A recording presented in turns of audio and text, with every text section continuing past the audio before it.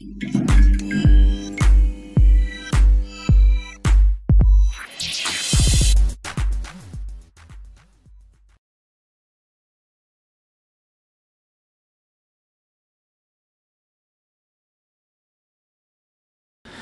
darf recht herzlich begrüßen Sabina Lammert, die uns ein bisschen von Visual Leadership erzählen. Ja, fangen wir mal an. Herzlichen Dank. Herzlich willkommen zu meiner persönlichen zweiten Tools for Agile Teams. Vergangenes Jahr war ich auch eben als Teilnehmerin da, hätte mir damals nicht erträumt, dass ich jetzt hier dann auch einen Vortrag halte. Und wer vergangenes Jahr da war, hat vielleicht auch gesehen, ich habe das ein oder andere Bildchen damals schon gemalt. Da war ich in den Anfängen meiner Visualisierungskünste, sage ich mal, bin über meinen Schatten gesprungen und habe, wie ich gleich auch zeigen werde, eben Vorträge für mich persönlich visuell festgehalten. Und ich für mich, ich bin ein Mensch, ich würde von mir behaupten, ich verstehe besser und begreife besser visuelle Darstellungen. Wem geht das ähnlich? Das habe ich fast schon erwartet. Und die Sache aber, die ich festgestellt habe, damals vor allem, als ich noch im Biotech als Projektkoordinatorin und Projektmanagerin gearbeitet habe, war, dass doch sehr, sehr wenig visuell kommuniziert wird. Die allermeisten Meetings, man kommt hin, man hat meistens noch irgendwie einen Titel, vielleicht gibt es eine Agenda irgendwie runtergetippt und das Meeting selber läuft so ab, dass man miteinander sehr viel heiße Luft produziert. Es wird miteinander gesprochen, es werden ja, diverse Diskussionen geführt, mal Entscheidungen getroffen. Und was ich damals hatte in meiner Rolle als Projektkoordinatorin, ich hatte ganz oft ein Déjà-vu, dass sich Meetings wiederholt haben. Dass ich identisch die gleichen Meetings nochmal erlebt habe, weil die Entscheidung, die getroffen worden ist, ja irgendwie eine Woche später konnte sich keiner mehr daran erinnern. Oder nicht mehr alle gleichermaßen. Das heißt, die Menschen saßen in einem Raum, haben miteinander gesprochen, aber irgendwie aneinander vorbei. Und es musste wieder und wieder durchgekaut werden fand ich persönlich sehr frustrierend, sehr anstrengend. Und Gott sei Dank hat es mich vor zwei Jahren so peu à peu in diese agile Welt gezogen, die ja unter anderem nach einem Prinzip arbeitet, nämlich mach deine Arbeit sichtbar. Und bei mir persönlich ist es mittlerweile so, dass mich Bilder in meinem Alltag begleiten. Das heißt, vorhin saßen wir da alle zusammen, haben den Vortrag eben, gerade eben die Keynote von Jürgen Appello angeschaut, die ja auch sehr bildreich war. Und früher war es so, ich habe mir Vorträge angehört, ich bin heimgegangen und meistens ein halbes Jahr später, spätestens, wenn nicht sogar eine Woche später, konnte ich mich nicht mehr daran erinnern, worum es so wirklich ging. So geht es mir auch bei Meetings, so geht es mir auch bei sehr vielen Gesprächen. Mittlerweile sehen meine Notizen so aus. Das ist der Vortrag von eben, visuell zusammengefasst. Deswegen war ich gerade etwas in Panik, weil ich dachte, oh mein Gott, ich muss es schaffen, ein Kampf gegen die Zeit. Kriege ich das noch in die Präsentation? Ein Farbkleckser hier, ein Farbkleckser dort. Und diese Art zu kommunizieren, dieses bildliche Kommunizieren, es muss nicht gleich auf diesem Level sein. Aber das kann dazu führen, dass man nicht nur eben miteinander besser kommuniziert, sondern dass man eben auch Menschen besser führen kann.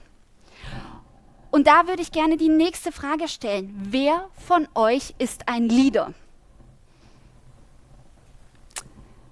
Oh, ein paar Hände zögerlich. Jetzt ist natürlich die große Frage, ja, was meint die damit? Ich meine nicht, dass irgendwo in einem Arbeitsvertrag steht Führungskraft. Ich meine, wer von euch nimmt Einfluss auf Mitmenschen im Arbeitsumfeld? Da gehen ein paar Hände mehr hoch. Ich persönlich bin der Meinung, jeder Einzelne, der hier sitzt, jeder einzelne Mitarbeiter, jeder einzelne Mensch auf dieser Welt ist ein Leader. Denn wir alle beeinflussen unser Umfeld. Auf welche Art auch immer. Leadership ist nicht Command and Control. Leadership ist eine Einladung, die ich ausspreche, einen Rahmen, den ich schaffe, damit die Menschen in meiner Umgebung wissen, in welche Richtung es geht. Und das schaffe ich unter anderem auch durch bessere Kommunikation. Und Konkret braucht es aber bestimmte Rahmenbedingungen, damit Leadership auch wirklich erfolgreich ist. Wir wer kennt diese Grafik von Hendrik Nieberg? Na, verhältnismäßig wenig. Ich gehe da nochmal drauf ein, weil die ist super. Das ist auch ungefähr, glaube ich, das einzige Bild in diesem Vortrag, das ich nicht selbst gemalt habe, weil ich dachte, es ist schon gut genug, das muss man nicht noch besser machen. Es gibt zwei Dimensionen. Einmal die Dimension der Autonomie und einmal die Dimension des Alignments. Haben wir kein Alignment und keine Autonomie, dann haben wir viele Menschen, die irgendwo hinrennen, planlos sind, Chaos. Das ist tatsächlich das, was ich in meiner Arbeitszeit in Festanstellung als Projektmanagerin überwiegend gesehen habe. Das heißt, wir wussten nicht, was das Projekt eigentlich zum Sinn hatte, was der Zweck des Projektes war. Und wir waren aber selber nicht befähigt genug, selbst Entscheidungen zu treffen. Weil wir hatten gar nicht transparent alle Informationen, die wir gebraucht hätten, um unternehmerisch handeln zu können. Das Ergebnis ist sehr viele verwirrte Menschen. Das hier führt zu Arbeitsunzufriedenheit auf Dauer. Das sind die Menschen, die irgendwann innerlich kündigen, weil sie aber auch in so einem Rahmen sind. Das heißt, es ist ganz wichtig zu überlegen, wie ist der Rahmen? Geben wir den Menschen ausreichend Alignment, damit sie wissen, wo es hingeht? Wenn unsere Mitarbeiter ausreichend Alignment haben, das heißt, wir haben hier ein kleines Sternchen, ein kleines Ziel, baut eine Brücke, das ist das Ziel. Aber wir haben noch eine geringe Autonomie, dann brauchen wir immer noch jemanden, der auch sagt, jetzt mach das. Vielleicht kennt ihr das von so ein paar Kollegen in eurer Umgebung, die eigentlich die Kompetenzen haben, aber man muss ihnen immer noch sagen, ja, du darfst das auch wirklich machen. Das erlebe ich ganz oft, wenn ich im Coaching im Rahmen einer agilen Transformation in Unternehmen bin dass viele der Mitarbeiter, der Teammitglieder es nicht gewohnt sind, selbst was zu machen, ohne zu fragen, darf ich das? Das ist etwas, da muss man auch einen Rahmen für schaffen. Vertrauen und Sicherheit schaffen, damit tendenziell eben mehr Autonomie herrscht. Hier haben wir kein Alignment. Das heißt, hier der Chef hofft, dass da mal eine Brücke gebaut wird. Aber wir haben ganz, ganz viele Mitarbeiter, die eigentlich kompetent sind, die tendenziell wissen, was sie tun, aber ihnen fehlt noch das Ziel. Und hier oben haben wir das Optimum. Sowohl Alignment als auch Autonomie. Wir wissen, wo es hingeht und wir können selbst entscheiden, wie wir da hinkommen. Das ist das, was wir in einem ordentlichen Scrum-Team beispielsweise haben möchten. Aber unabhängig von Scrum. Scrum ist eine Produktentwicklungsmethode, die in meinen Erfahrungen in den seltensten Fällen in Perfektion umgesetzt wird. Das heißt, so wie ich es kenne, passen wir es auch immer bedarfsgerecht an die jeweilige Situation an. Aber unabhängig davon, ob man in der Produktentwicklung ist, in der Buchhaltung ist, in welchem Bereich auch immer, braucht es eben Alignment und Autonomie, damit man eine gute Performance bekommt. Und das hat eben auch Google festgestellt. Wer von euch kennt das Project Aristotle? Auch ein paar Hände hoch.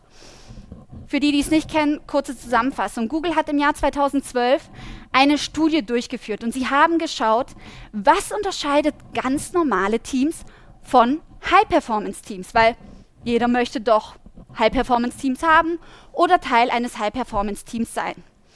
Und bei über oder um die 200 Teams, die sich, die sich da angeschaut haben, kamen folgende fünf wichtigsten Faktoren raus. Hier ganz links steht der allerwichtigste Faktor, der massivst unterschätzt worden ist in den letzten Jahrzehnten in den Arbeitsumgebungen in Unternehmen, nämlich psychologische Sicherheit. Was bedeutet psychologische Sicherheit? Ich kann einen Fehler machen und muss mir anschließend nicht eine problemorientierte Diskussion antun, sondern ich gehe beispielsweise zu meinen Kollegen hin, erzähle von einem gewissen Fauxpas und bekomme als Antwort, danke vielmals, dass du uns in Kenntnis gesetzt hast. Mit diesen neuen Informationen können wir jetzt gemeinsam nach einer Lösung suchen. Ist das das Gängige, was man so erlebt? Hm, ich sehe ein paar Köpfe. Also in den Umgebungen, in denen ich groß geworden bin und meine ersten Jahre verbracht habe, war das nicht der Fall. Ich möchte von einer Kollegin erzählen. Diese Kollegin hat von unserem gemeinsamen Vorgesetzten einen Auftrag bekommen. Und sie hat festgestellt, Mensch, es gibt doch eine andere Abteilung, die sind darauf spezialisiert, Die brauchen dafür nur ein Zehntel der Zeit. Das macht für die gar keinen Unterschied. Die könnten doch diese Aufgabe einfach mitmachen. Absolute Zeiteffizienz. Im Teammeeting schlägt sie das unserem Chef vor.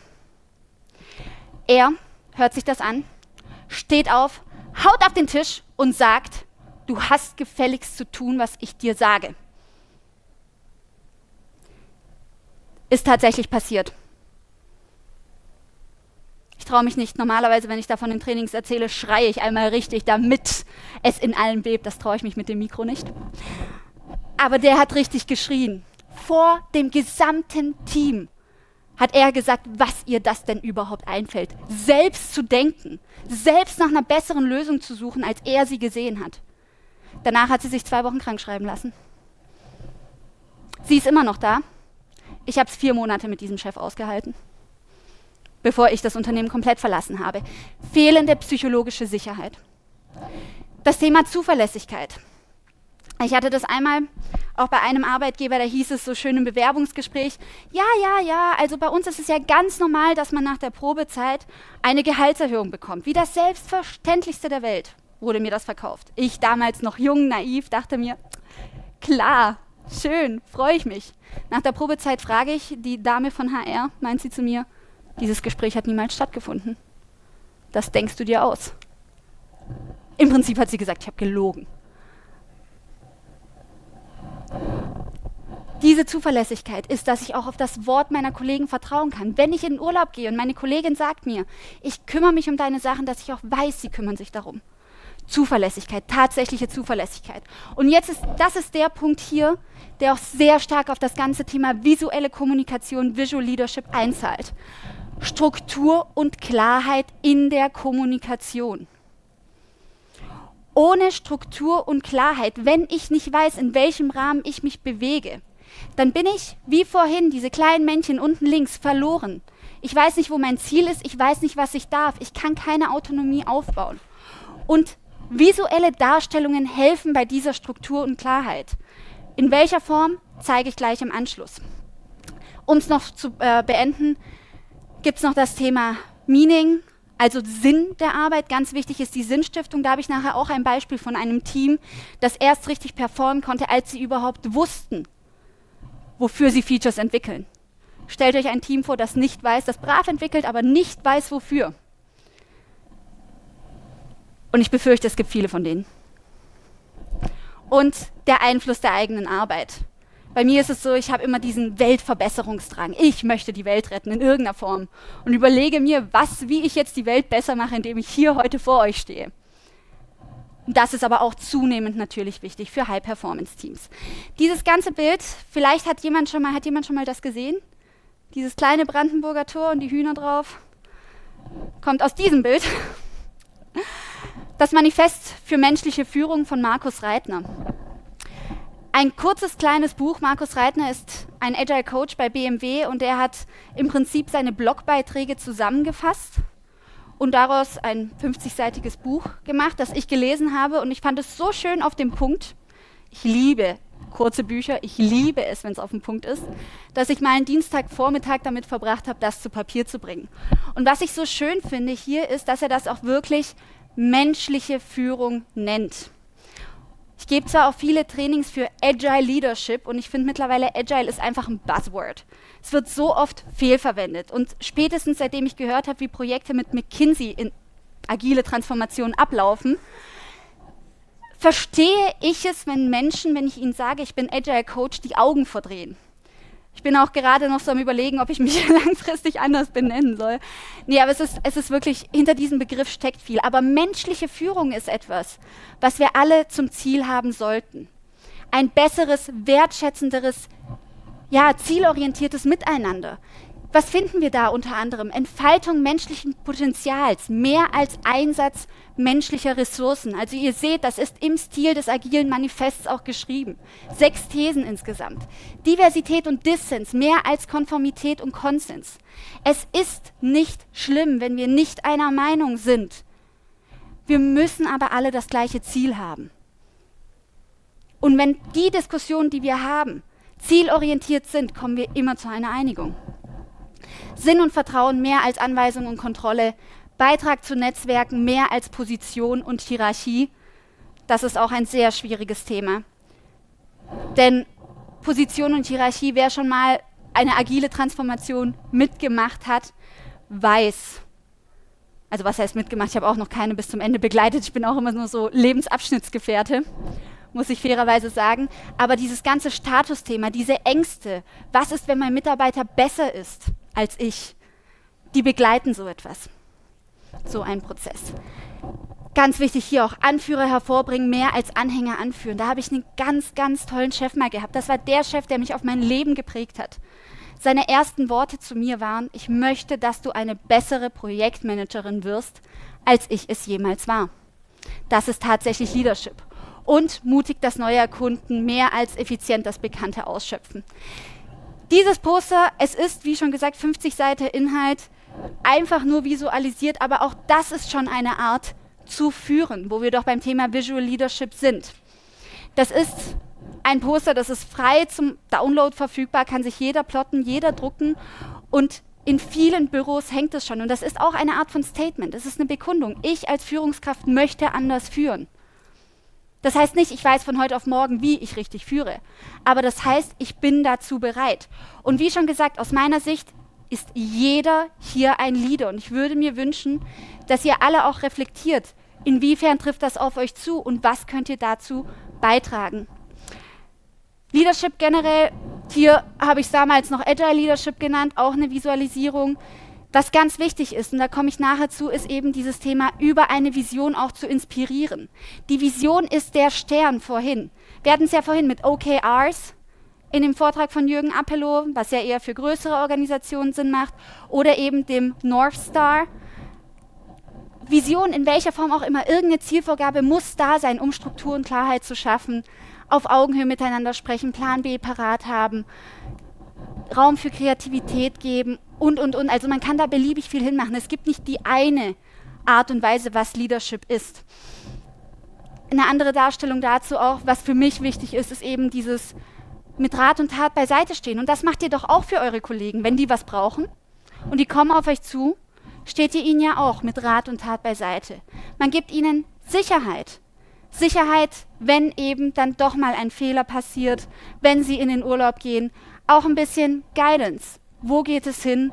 Und ganz wichtig, Wachstum. Und dieses Thema Wachstum ist etwas ganz Wichtiges, weil es gibt verschiedene Stufen, in denen wir Menschen uns befinden. Wir haben es ja auch eben gehört. Es gibt verschiedene Bedürfnisse entlang einer Entwicklung. Und natürlich ist man am Anfang tendenziell so, gerade in einem Unternehmenskontext, man ist sehr ich-fixiert. Man muss erstmal selbst ankommen, sich in der neuen Situation zurechtfinden. Aber dann kommt irgendwann der Punkt, in dem man nicht mehr am Nehmen ist, am sich selber orientieren, sondern man kommt in die Lage, selbst zu geben. Und was ich dafür sehr hilfreich finde, sind Reflexionen. Wer von euch reflektiert regelmäßig? Sehr schön. Das ist überdurchschnittlich viel. Man merkt, wir sind auf einer agilen Konferenz. Denn die meisten machen es tatsächlich nicht so häufig. Es gibt ja verschiedene Arten von Reflexion für einen selbst, im Team.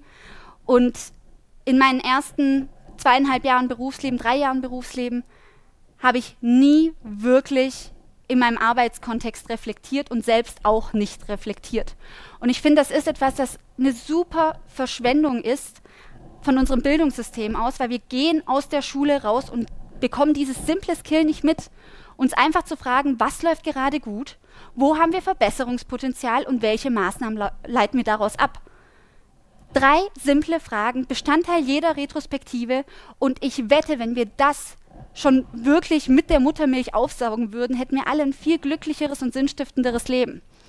Viele lernen es erst in ihrem Erwachsenenalter, aber Gott sei Dank gibt es ja auch Umbrüche in der Bildung. Ich habe schon von Schulen gehört, die führen das jetzt auch langsam peu à peu ein. Reflexionen können ganz simpel aussehen. Hier ein Beispiel. Was hast du erreicht? Und hier ganz wichtig, gerade im Leadership-Kontext, wie hast du anderen beim Wachsen geholfen? Weg vom Ich-Fokus hin zum Fokus, wie habe ich anderen geholfen? Und aus meiner Sicht sollten auch Beförderungssysteme in einem Unternehmen und die, und die Besetzung von Führungspositionen anders ablaufen, nämlich nicht nach der Leistung des Einzelnen, sondern wie diese Person anderen geholfen hat, besser zu werden. Ich möchte doch als Führungskraft jemanden haben, der ein Multiplikator ist und der nicht ich-zentriert ist. Und daher diese Frage. Ansonsten, where do you have potential for improvement und which challenges or which challenge will you master next? Also es sind einfach willkürliche Fragen, die kann man beliebig austauschen. Das war jetzt eine Art der Retrospektive, aber vier Fragen, die man sich einmal pro Woche stellt, machen so einen Unterschied. Und das kann man für sich intrinsisch machen als eine Person oder das kann man natürlich auch mit seinem Team machen. Und Team muss auch nicht jetzt Projektteam sein. Wichtig ist, dass man anfängt. Das wandelt sich. Es kann sein, ihr habt aktuell ein Bedürfnis für euch selbst zu reflektieren und zukünftig ändert sich das hin zu einem Teamreflexionsbedürfnis oder zu einer Reflexion mit dem Partner. So viel zu Leadership. Puh. Erstmal kurz sacken lassen. Jetzt geht es aber eben nicht nur um das Thema Leadership als solches, sondern wie schon gesagt auch ums Visuelle. Ihr habt hier viele Bilder präsentiert bekommen, viele Impulse, wie es geht, aber jetzt will man das ja natürlich auch selbst machen. Man will ja selber auch zu Pen and Paper hoffentlich greifen. Und es gibt sehr, sehr viele, ja, einen sehr großen oder sehr viel Mehrwert daraus, was visuelles Arbeiten bewirkt. Das ist ein Auszug aus dem Buch Visual Doing da gibt es auch ein Buch, das heißt Visual Thinking. Die haben da das so toll gemacht, dass ich einfach das Rad nicht neu erfinden wollte. Letztendlich, was hilft es? Mehr zusammenzuwachsen und einfach Sachen zu vereinfachen. Ganz oft redet man wirklich aneinander vorbei. Ich hatte das bei einem Team, die haben, es waren Entwickler und die haben sich zugearbeitet, beziehungsweise zwei Teams waren es. Und dann haben die einen den Prozess geschildert, wie das abläuft in der Produktentwicklung und die anderen. Und ich als Nicht-Expertin, also ich, hab, ich bin studierte Biochemikerin und Neurowissenschaftlerin, könnte mich mit Programmiersprache wirklich jagen. Ich bin eher so der, die Person, die zwischenmenschlich eher die Stärken hat, sage ich mal. Habe nur aber gemerkt, irgendwie passt das, was Team A sagt, nicht mit dem zusammen, was Team B sagt. Dachte mir nur, na, ich bringe die mal zusammen, die sollen mal miteinander reden und den Prozess visualisieren, wie sie zusammenarbeiten. Aus der geplanten halbstündigen Session sind drei Stunden geworden, weil sie jeweils voneinander bestimmte Arbeitsschritte gar nicht kannten. Was zu Missverständnissen in der Zusammenarbeit geführt hat. Und was haben wir dafür verwendet? Post-its. Einfach nur Post-its verwenden und an die Wand zu hängen, ist schon eine Art der Visualisierung. Da braucht es nicht viele malerische Künste. Sharing the same vision, ganz wichtig. Ich bin ein großer, großer Freund davon, Visionen, Ziele, Ideen zu visualisieren, weil unsere Kommunikation verbal einfach nicht ausreicht, um so etwas umfangreich ja, festzuhalten. Schnellere Kommunikation, ihr seht es, man sieht ein Bild, es kommt einem bekannt vor. Alignment auf jeden Fall, Prozesse klar machen, das ist eben auch das Beispiel von eben gewesen. Und uncover other outcomes. Also es kann sein, wir haben eine tolle Idee, gerade wer schon mal mit Design Thinking gearbeitet hat wir haben eine tolle Idee in drei verschiedenen Köpfen, bringen das in irgendeiner Form visuell zu Papier und stellen fest, oh, da ist ein Detail, das hatte ich gar nicht bedacht und dieses Detail hat jemand anderes nicht bedacht und plötzlich hat man das Bestmögliche aus allem. Genau, New Ideas, Better Insights. Und jetzt kommt meistens dann die Frage, ja, aber ich kann nicht malen. Kennt ihr das? Ja, ich kann nicht malen. Dafür habe ich eine Nachricht. möchte ich euch was mit auf den Weg geben. Ich möchte erfragen, wer von euch folgende Formen zeichnen kann. Das ist jetzt der Test, ob ihr in der Lage seid, auch abseits von rein Post-it und Text visuell zu kommunizieren. Ready? Okay. Wer kann das hier zeichnen? Top? Kriegen wir hin. Mathe. Also Mathe hat euch unwissentlich auf ein Leben im Visuellen vorbereitet, möchte ich sagen. Ich teaser schon an, was als nächstes kommt.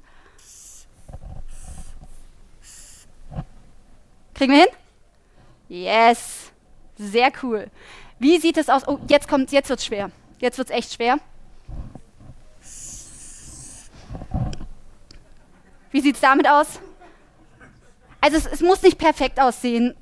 Ich habe es auch manchmal, dann sieht es eher aus wie ein Ei. Aber dass man es von, von den beiden unterscheiden kann, kriegen wir hin. Ja, ein paar Ecken weniger. Strich? Läuft? Uh, ein besonders schöner.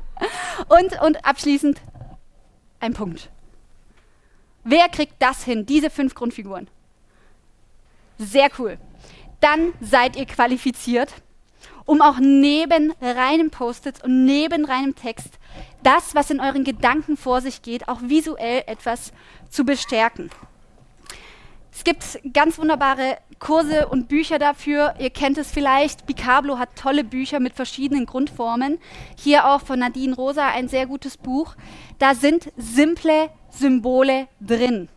Und die Philosophie dahinter ist, wir müssen visuelles Vokabular lernen, wie auch jede andere Sprache. Wort für Wort für Wort. Bicablo hat beispielsweise dafür sogar Karteikarten. Dann steht auf der einen Seite drauf Glühbirne und dann malt man eine Glühbirne. Bestehend eben aus diesen Grundformen. Mehr ist das nicht. Und ich will euch gar nicht dazu mehr sagen, weil die Kurse, die gibt es, die sind wunderbar, werden ganz toll angeboten. Es gibt online ganz viel und das ganz Verrückte ist, ihr braucht keinen Kurs, ihr könnt es auch einfach selber machen. Also einfach abzeichnen von anderen Leuten. Und viel visuelles Vokabular braucht man nicht. Man könnte meinen, ich sitze da jeden Abend und äh, bei einer Tasse Tee male ich da ein Vokabelkärtchen nach dem anderen runter. Nein, das tue ich nicht. Die Vokabelkärtchen, die besitze ich zwar, aber nur für Trainings, wenn ich mal welche gebe, die tatsächlich in die Richtung gehen. Ich habe meine Notizbücher durchgeschaut und meine 20 Vokabeln sind die hier. Mehr ist es nicht. Und ab und an brauche ich auch mal ein anderes Bild. Dann verwende ich etwas ganz Verrücktes, das kennt ihr mit Sicherheit auch, das nennt sich Google. Und gebe ein, meinen Begriff, zum Beispiel Fisch, und dahinter setze ich das Wort bei der Google-Bildersuche Clipart oder Cartoon, irgendwas in die Richtung, damit es vereinfacht ist oder Icon, je nachdem, was es ist. Und dann kriege ich eine simplifizierte Darstellung von teilweise auch eben komplizierten Objekten. Keine Sorge, ihr könnt euch, die gesamte Präsentation gibt es online, also die könnt ihr euch auch komplett runterladen. Aber mehr ist es nicht, mehr braucht ihr nicht. Sowas kann man sich ausdrucken, hinten in sein Notizbuch packen. Und wenn man bei jedem Meeting, das man hat, immer mal wieder schaut, dass man einzelne Symbole reinbringt, dann wird man auch mit der Zeit besser. Und dann wird das auch ansprechender, wenn man mit seinen Kollegen, Mitarbeitern kommuniziert. Und was ich vorhin noch vergessen habe zu sagen zum Thema Leadership. Leadership ist etwas, das macht man nicht nur nach unten in der hierarchischen Ebene. Leadership macht man auch nicht nur auf der gleichen Ebene, sondern was ich in meinem ersten Job ganz viel gemacht habe, ist, dass ich nach oben geführt habe. Ich habe meinen eigenen Chef geführt. Wie führt man seinen eigenen Chef? Man verschwendet nicht seine Zeit. Man sorgt dafür, dass wenn man sich trifft, dass alles gut vorbereitet ist. Und auch dafür kann man eben diese visuellen Darstellungen verwenden. Ich habe einmal in einem Unternehmen auch ähm, hatte ich das Glück, mit einer Finanzberatung da zu sein und die haben, wie es sich gehört, 40 Seiten PowerPoint gehabt, Schriftgröße 8, haben da alles vorgestellt, was sie geplant hatten und, und, und, und, und. Ich habe mir das Ganze angehört und dachte nur so, oh Gott sei Dank bin ich in keiner klassischen Beratung. Anschließend habe ich präsentiert drei Flipcharts. Der Vorstand war begeistert. Das war mehr Gesprächsthema als dann die 40 PowerPoint-Slides davor. Es geht nur darum, zur richtigen Zeit das richtige Stilmittel zur Hand zu haben. Und das ist manchmal nicht die 40-seitige PowerPoint-Präsentation mit allen Details. Das ist manchmal auch einfach ein simples Flipchart. Natürlich, wenn ich viele Zahlen, Daten, Fakten präsentiere, dann muss ich gegebenenfalls auch eben auf die PowerPoint zurückgreifen, aber stilistisch richtig das Richtige zur richtigen Zeit anwenden. Und jetzt gibt es natürlich verschiedene Beispiele, wie kann man das im Alltag machen. Und ich habe euch viele Beispiele aus Kundenprojekten und Ähnlichem mitgebracht. Einfach als Inspiration, denn mein Ziel ist es nicht, euch zu sagen, das ist ein Muss, sondern euch zu inspirieren, was gibt es denn jetzt über diese Icons hinaus, was man im Alltag verwenden kann. Und das Typische ist natürlich das simple Board. Das ist jetzt kein Taskboard, wie ihr das vielleicht kennt, wenn ihr denn mit Scrum oder Kanban arbeitet. Das ist meine Trainingsagenda von meinen Workshops. von meinen Trainings, die ich mache. Und wenn ich ein Meeting moderiere und ich werde ganz oft als Externe reingeholt, auch um Meetings zu moderieren, dann habe ich immer so eine Agenda, dann steht hier drüben, man sieht es jetzt hier nicht, ein Work in Progress und ein Done. Zu jedem Zeitpunkt weiß jeder genau visuell, wo wir uns befinden. Eine Kleinigkeit mag man meinen, aber in den meisten Unternehmen ist das abseits der Vorstellungskraft. Ich kriege ganz oft in meinen Trainings gesagt, oh mein Gott, das Tolle war die Agenda, wo ich dann denke, okay, das kann ich sofort einsetzen, schön. Und es ist eigentlich für mich schon so selbstverständlich, aber in gängigen mittelständischen Unternehmen und Konzernen ist es leider sehr innovativ. Jede Farbe bedeutet auch was anderes. Grün ist Spiel, gelb ist Theorie, orange ist interaktive Übung und so weiter. Das heißt, man kann das ganz wunderbar auch kodieren. Und schon hat man visuell auch eine Art von Rahmen und Struktur geschaffen und die Teilnehmer fühlen sich durch den Tag hinweg abgeholt. Das Ganze, wenn man natürlich jetzt eben alleine ist und nicht ein Team hat und nicht einen Workshop vorbereitet, kann man auch in seinem eigenen Notizbuch machen. Das ist mein Notizbuch. Das ist Sibylle die Pille, mein Maskottchen, das mich hier unterstützt. Oben eine kleine Eisenhower-Matrix und To Do, Work in Progress, Done. Was in Done ist, wird weggeschmissen. Ich dokumentiere nichts. Das ist das Schöne, wenn man alleine ist. Also das für alle, die noch nicht mit einem Taskboard arbeiten, sich einfach daran gewöhnen möchten, kann man sich auch in sein Heft zeichnen. Und das sind ganz normale, ja, diese kleinen Post-its, die man eben verwendet zum Text markieren. Weitere Beispiele, wenn wir jetzt eben am Anfang von einem Meeting stehen oder von einem Training, was ich dann habe, sind Erfolgsfaktoren. Ich stelle vor, wie wir besser oder wie wir, was der Rahmen ist für unsere gemeinsame Zusammenarbeit während eines Trainings oder Workshops. Wie zum Beispiel, dass ich die Hand hebe, wenn ich möchte, dass es leise ist. Weil wenn ich mal vier Tage die Woche Trainings gebe, ist meine Stimme sonst weg. Wenn ich jedes Mal schreie, um eine große Masse an Menschen zu beruhigen. Timebox erkläre ich, dass Fotos erlaubt sind. Gesetz der zwei Füße. Bei mir darf immer jeder raus, wann er will, solange ich präsentiere. Wenn die anderen Teilnehmer präsentieren, dann sollen sie bitte, was auch immer sie für andere Bedürfnisse haben, es soweit unterdrücken und erst wieder zurück in den Raum kommen, wenn alles erledigt ist, wenn mit dem Chef telefoniert worden ist oder ähnliches. Hashtag AMA, Ask Me Anything. Digital Detox ist auch die Einladung, vor allem seinen Laptop wegzulegen. Beim Handys bin ich immer nicht so pingelig. Und ich biete auch immer Energizer an. Wenn ich merke, das Level geht runter, das Energielevel, dann spielen wir ein bisschen miteinander. Das stelle ich vor, das hängt dann auch im Raum. Und schon weiß jeder zu jedem Zeitpunkt, in welchem Rahmen sie sich für Eintages-, Zweitagestraining befinden, wobei man das auch natürlich bei regelmäßig stattfindenden Teammeetings einfügen kann, einführen kann und das auch in den Raum hängen kann. Und schon haben wir wieder Struktur und Klarheit, ohne dass es, vielleicht kennt ihr das, vielleicht habt ihr das mal im Raum, solche langen, langen Texte mit Meeting-Regeln. Von der Raum muss aufgeräumt sein, bis hin zu das Meeting darf nicht länger dauern, als es angesetzt ist und so weiter. Das macht es ein bisschen lockerer. Genau das gleiche, aber ein bisschen lockerer. Ein weiteres Beispiel, eine Zielesammlung. Das ist jetzt aus einem Workshop, einem Strategieworkshop oder ja, beziehungsweise es war ein Unternehmen, die standen absolut fest in der Krise. Sie haben die Umsatzzahlen nicht geschafft, wussten nicht, woran es liegt. Also haben wir eine Sammlung gemacht an Zielen. Was alles sind die Ziele, die Sie sehen? Und dann haben wir das alles visuell runtergeschrieben. Normalerweise hätten sie einfach miteinander geredet. Und als das fertig war, habe ich gesagt, jetzt schaut mal drauf. Was fällt euch auf? Und dann haben sie gesagt, oh, wir haben den Kunden vergessen. Simple, kurze, visuelle Darstellung, ohne viel Aufwand. Aber hätten wir nur miteinander geredet, wäre es ihnen gegebenenfalls nicht so sehr aufgefallen und nicht so schnell aufgefallen. Und wir hätten vielleicht noch stundenlang über Ziele gesprochen, ohne an den Kunden zu denken.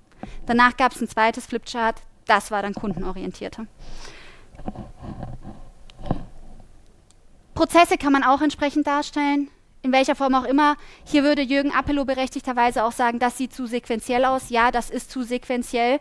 Aber ich sage auch immer zu meinen Teilnehmern in den Trainings, ich gebe euch erstmal Schubladen an die Hand, versteht erstmal die Schubladen und dann, wenn ihr bereit seid für den nächsten Schritt, dann reden wir, wo geht es wann hin und zurück, unter welchen Umständen, was braucht ihr alles. Und gebt den Leuten auch an die Hand, bitte, bitte reflektiert. Wenn ihr reflektiert, findet ihr euren eigenen Weg.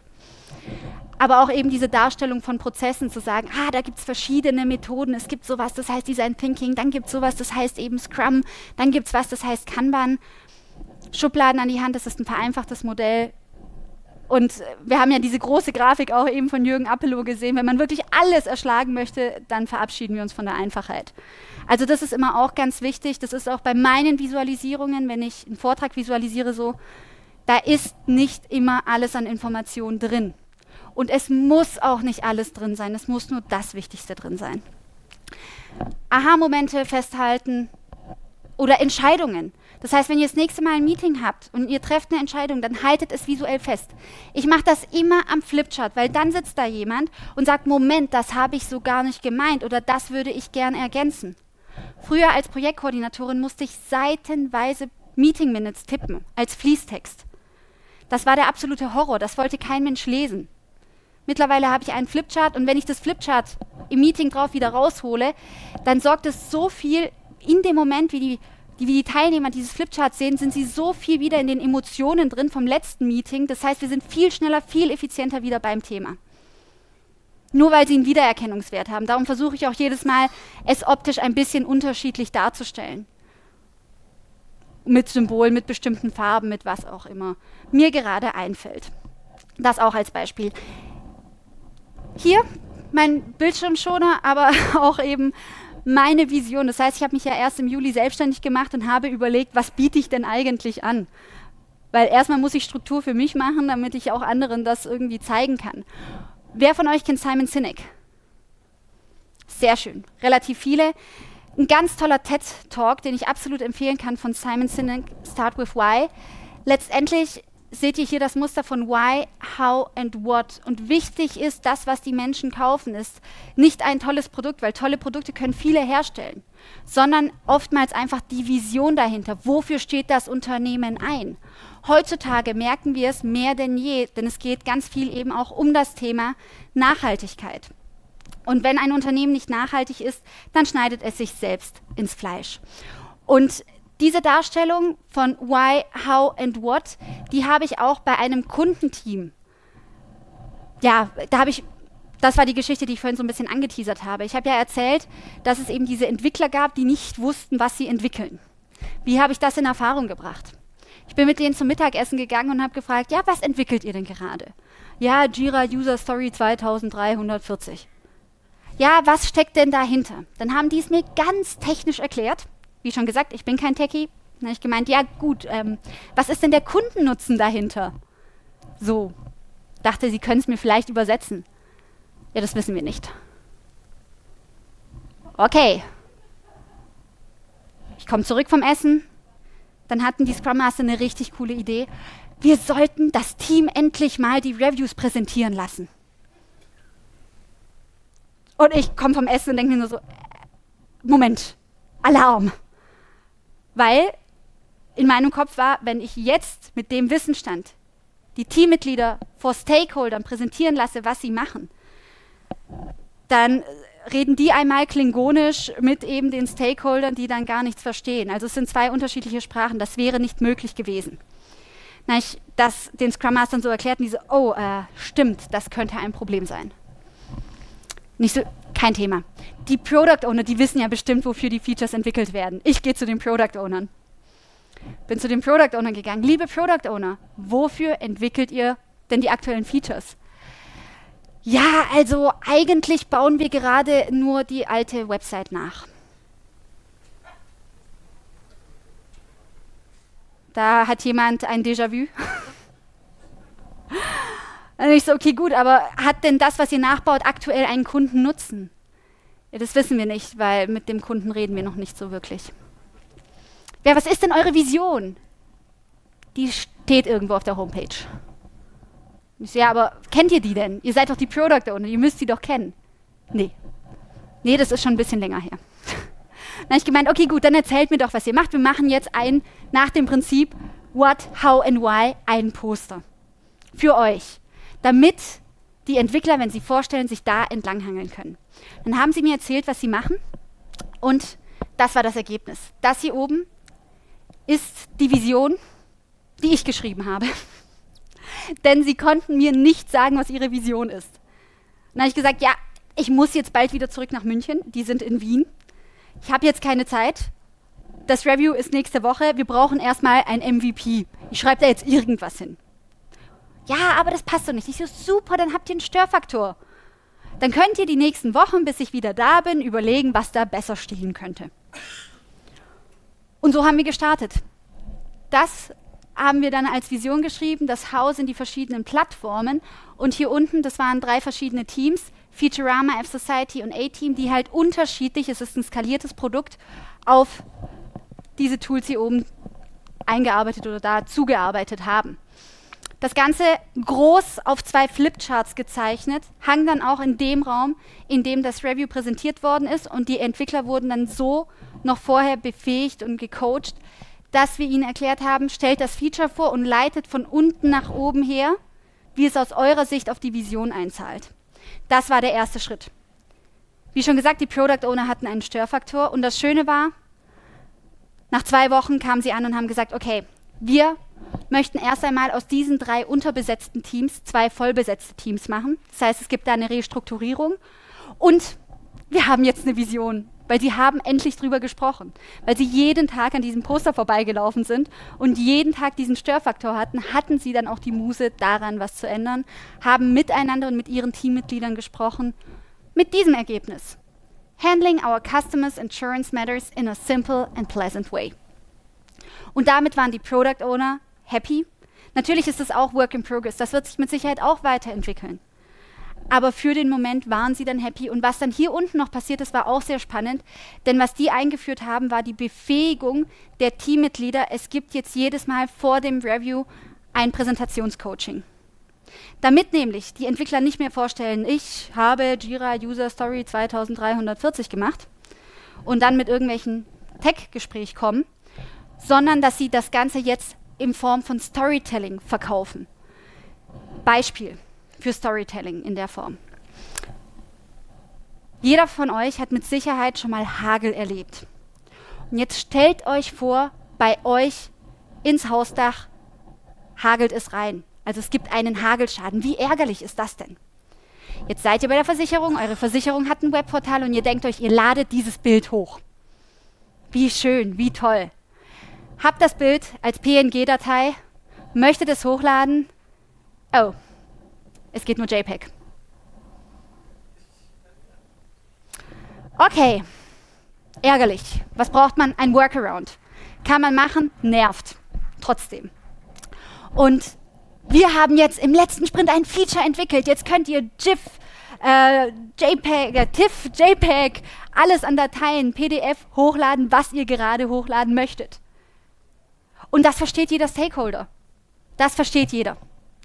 Und das kriegen die dann jetzt eben auch entsprechend gecoacht. Und durch diese visuelle Unterstützung werden auch die Stakeholder, auch wenn sie das erste Mal da sind, abgeholt, was ist die Vision und wie zahlt es darauf ein. Ein weiteres Beispiel, das hier ist ein Teambuilding gewesen auch eben zur Führung. Die Chefin dieses Teams hat gemeint, na, also irgendwie läuft es bei uns nicht rund. Irgendwie arbeiten wir mehr gegeneinander als miteinander. Und wir haben eine Heldenreise gemacht. Kennt jemand die Heldenreise? Ja, wenige. Hm.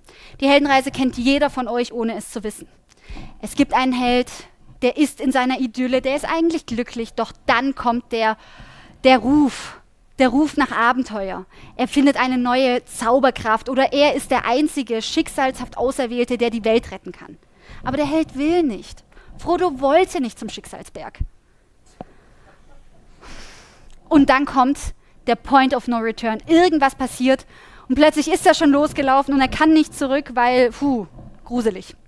So ganz alleine die Berge wieder zurück. Er findet Gefährten, er findet einen Mentor, er schafft seine ersten Schlachten, die ersten Abenteuer und alles sieht erstmal gut aus, doch dann scheitert er an seiner eigenen Persönlichkeit. Er will den Ring. Oh mein Gott, er steht sich selbst im Weg. Wird er es noch schaffen? Doch dank seines treuen Gefährten schafft er es wieder auf den rechten Weg. Er besiegt den Bösen und kehrt gestärkt als neue Persönlichkeit zurück. Oder eben im Fall von Frodo auch nicht und er düst halt ganz ab. Aber letztendlich ist das das, was wir in jedem Film finden. Und diese Heldenreise haben wir einmal durchlebt. Das sind zwölf verschiedene Schritte. Ich habe verschiedene Fragen gestellt. Und vorab musste jedes einzelne Teammitglied sich selbst einen Charakter überlegen. Was ist mein Superheldenname? Was ist meine Superkraft? Und Superkraft aber im alltäglichen Sinne. Ich bin kommunikativ. Ich bin die Person, die alle zusammenhält. Ich bin die Visualisierungsfee. Was auch immer. Und aber ganz wichtig auch, womit stehe ich mir selbst im Weg? So wie Iron Man mit seiner Arroganz oder Captain America mit seinem Patriotismus. Also eine, ein Zeitpunkt der Offenbarung, um anschließend gemeinsam aus dem Erlebten ein Teamplakat zu machen mit Anekdoten aus dem Alltag, das man hinhängen kann. Und auch das ist eine Art der Führung. Es zeigt immer wieder auf, hey, auch wenn es mal nicht rund läuft, wir schaffen unsere Abenteuer. Hier noch ein Beispiel, wie man auch ein Unternehmen führen kann. Wer von euch kennt Novartis? Boah, kennt man, riesiges Pharmaunternehmen, 130.000 Mitarbeiter weltweit. Das hier ist der CEO. Und der CEO von Novartis, ähm, der macht gerade eine kulturelle Transformation unter dem Hashtag Unboss Your Company. Und hat einen ganz tollen Vortrag, beziehungsweise so ein Gespräch, zwölf Minuten mit Adam Grant gehalten, der ist Unternehmenspsychologe. Und die ganzen Sachen sind sie durchgegangen ich habe das Ganze, weil ich es so toll fand, visualisiert bei Pizza und Tee, wie man das heutzutage so macht. Und diese Darstellung, der Wasner Rassimhan, der war so dankbar dafür, dass er als CEO von Novartis mich persönlich angeschrieben hat, ob er dieses Bild teilen dürfe. Weil das hilft ihm bei seiner Mission. Das, was sonst ein zwölfminütiges Video ist, ist da auf einem Bild. Und auch hier wird einfach gezeigt, dass diese visuelle Kommunikation, die können wir einfach schneller verarbeiten, schneller in Schubladen holen. Das weckt schneller Emotionen hervor, als wenn wir dann eben zwölf Minuten ins Zuhören investieren müssen. Das hat man allein aus den Zahlen gesehen, wie oft das geliked worden ist im Vergleich zum Video. Es wurde dreimal öfter geteilt, geliked, gesehen, weil Menschen einfach mehr Zeit haben und sich die Zeit nehmen, ein Bild anzuschauen, als ein ganzes Video. Abschließend noch ein letzter Impuls, dann haben wir es geschafft. Ich finde eine Stunde sehr lang, muss ich sagen. Kurz eine Übersicht. Ich gehe gar nicht auf die Tools ein. Jürgen hat da ganz viel gerade präsentiert. Es gibt eben verschiedene Tools für Struktur und Klarheit, verschiedene für Transparenz, verschiedene für Kommunikation. Was für euch das Richtige ist, müsst ihr selbst entscheiden. Ich habe euch eben jetzt Impulse gegeben. Schaut, was ihr von anwenden könnt. Und es gibt nicht das eine Tool und die eine Visualisierung, sondern auch hier gilt, reflektiert, was läuft gut, wo gibt es Verbesserungspotenzial, welche Maßnahmen leitet ihr ab und findet euren eigenen Weg. Und im Sinne des Leaderships eine Erkenntnis, ich hatte letztes Jahr so eine kleine Selbstkrise, weil ich auf Vorbildsuche war. Ich wollte unbedingt ein Vorbild im Leben haben, einen Mentor, jemand, bei dem ich sage, Mensch, das ist die Person, die mich inspiriert und habe aber niemanden gefunden, als einzelne Person. Und habe mir dann einfach vorgenommen, sei das Vorbild, das du selbst gerne hättest. Und seitdem ich das mache und versuche, flutscht es irgendwie im Leben. Daher, wer vielleicht gerade auf seiner Sinnkrise ist, sich überlegt, kann ich Leader sein oder nicht? Nachdem ich beschlossen habe, ich bin das Vorbild, das ich selbst gerne hätte, nachdem ich beschlossen habe, ich bin jetzt einfach Leader, habe ich tatsächlich die Rolle des Leaders bekommen. Mein Team hat mich selbst gewählt zum Teamlead, also bei uns war das unter dem Titel Product Owner. Und das, was man lebt, das, was man ausstrahlt, das kommt auch zu einem zurück. In diesem Sinne hoffe ich, dass ihr viele Impulse mitnehmen könnt, viele Bilder und ich wünsche euch noch eine schöne Konferenz. Vielen Dank.